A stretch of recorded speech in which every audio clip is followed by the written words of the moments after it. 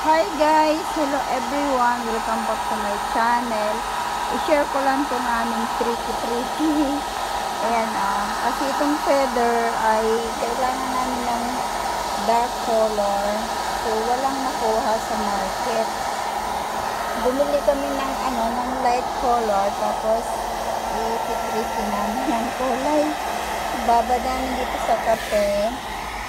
Ito, Nescafe ibabad siya. Yan. So, magpainit muna ng tubig, tapos lagyan ng ano, ng kape. Medyo dark. Tapos ibabad siya ng kahit mga Ano? 5, ano, mga 1 minute. oh, ibabad siya diyan sa kape ng mga 1 minute. Ng mga 1 minute. So, ganyan siya, oh. Okay. Wait, try natin ate. Oo. Try natin. Ganyan ang gagawin para makuha talaga yung yung kailangan naming kulay. Kailangan namin medyo darker. So, ibabad siya ng ganyan. Mga 1 minute. Baka makatulong ito sa inyo. Tricky-tricky namin. Siguro yung Yan. ibang kulay pwede din natin. Depende Oo. siguro sa May juice. mayroon talagang mga pangday na kulay, pero ito kasi ano, parang experiment lang namin. Binabad wala- namin sa kape or eh, pwede rin sa tsaa. Walang pang Yung ano, black tea, pwede rin siya. So, ibabad lang siya ng mga 1 minute. Ganyan. Kailangan ilubog ng maigi para even yung kulay niya. Hindi yung batik-batik. para ano, mag- maganda yung maging resulta ng kulay. Kaya ano yan. Yan. Ibabad lang siya ng 1 minute. Then, titingnan natin kung ano ano. ang magiging resulta. Kahit walang...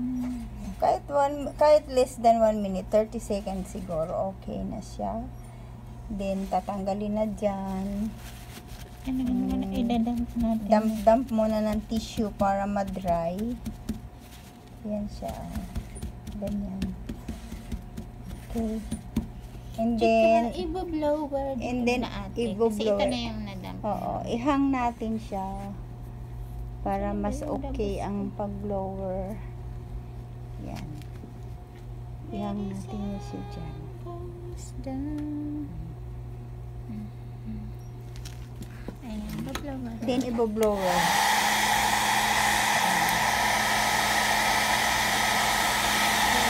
Blower, blower.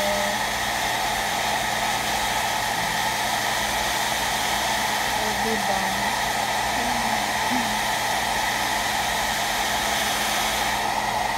Diba? Perfect yung aming experiment.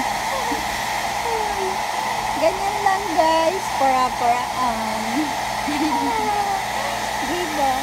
Ganyan talaga yung mga Pinoy. Mataba ang utak. Diba? Tabang aligi Mataba talaga ang utak natin mga Pinoy. So, maparaan. So, ayan ang result. Ayan. Diba? So, nakuha na namin yung ano namin, yung kailangan namin kulay. So, ganyan talaga. Ang gagawin. Dry, dry, dry lang.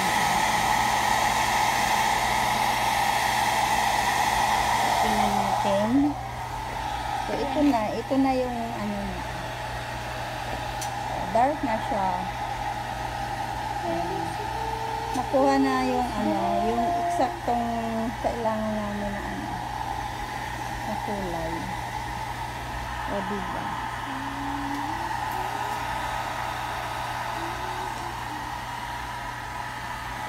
dry lang siya ng blower. So, kailangan din natin ng blower.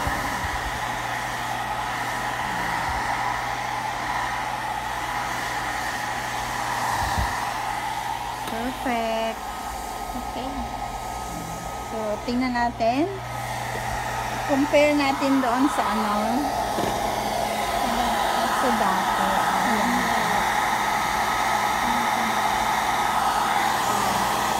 Diba, nag-iba na yung kulay. So, yan guys. So, ko lang guys. Baka makatulong sa inyo. Bye everyone. Thank you for watching.